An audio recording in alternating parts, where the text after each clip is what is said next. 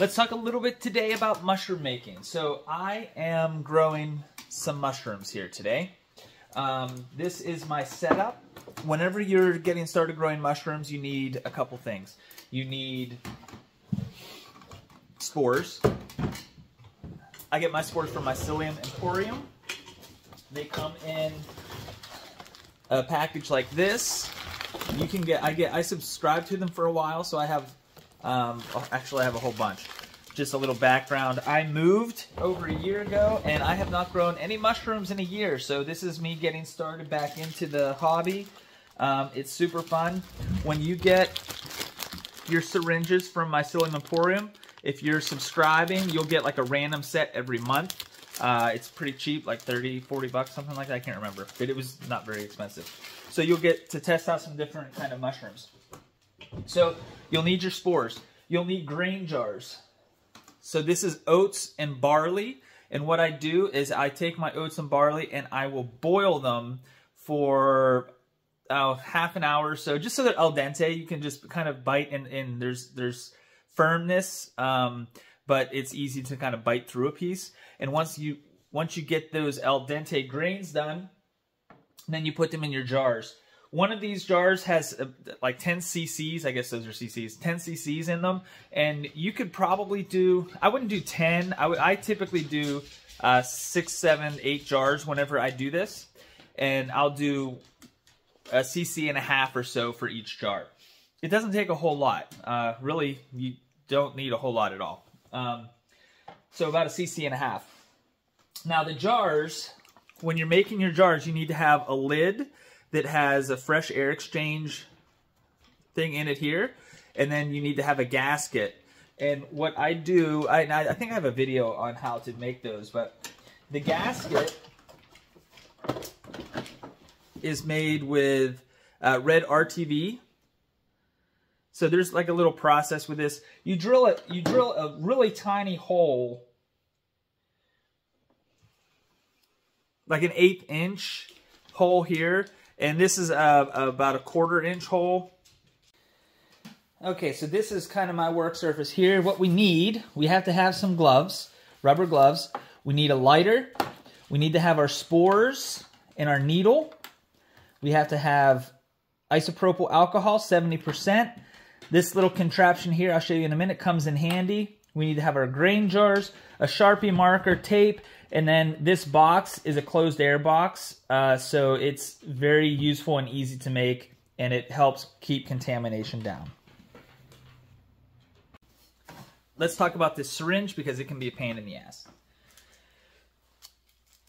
There's a cap on the syringe, and then you have this contraption here, which is the needle right? And the needle comes typically in a container in a little bag like this.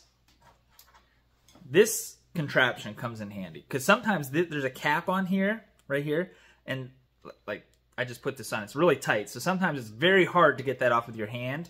So you use this little wrench, and you can stick that on there and twist it right off, nice and easy.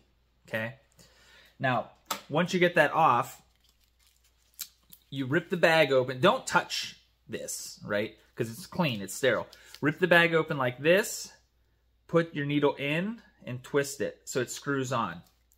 Now you have your syringe. Now, here's what you don't want to do is you don't want to grab it and pull it because what typically happens is when you're in that box, you'll pull it and then your hand just goes back and then you jab yourself in the finger. I literally just did it the other day and it, it smarts because it's a big ass needle.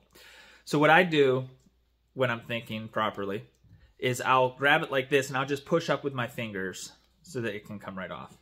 Okay. Now, once you get that off, you have it upside down.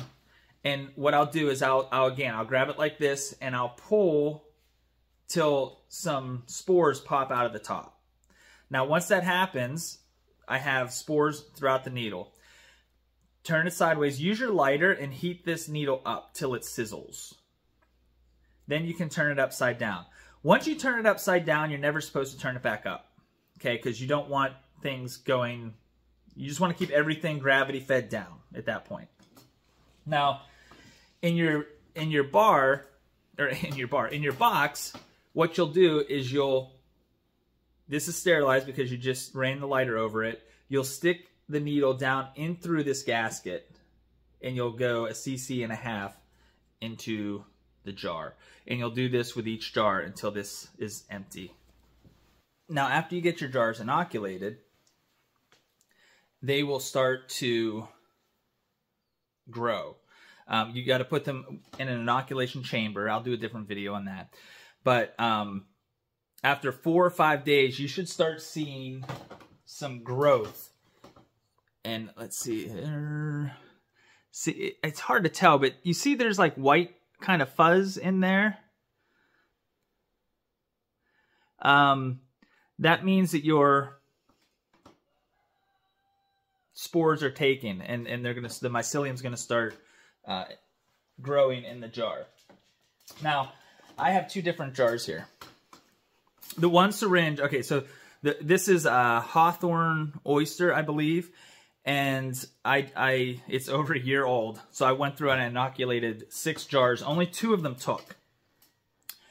Um, these two are the two jars it took. And then when this jar was had just had less fuzz, less growth on it than this one did. I shook it. There's this kind of idea. Some people say you should shake. Some people say you shouldn't shake.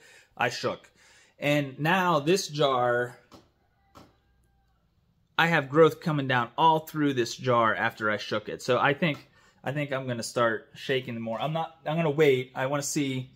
I want to see if if they kind of grow out at the same rate. But um, I'm kind, I'm kind of curious about that. So the other four jars, did not grow anything at all. After seven days, I see no signs of growth. So what I did today, and this will probably make some people cringe, um, I took two of those jars and I used an entire syringe because again, this is over a year old.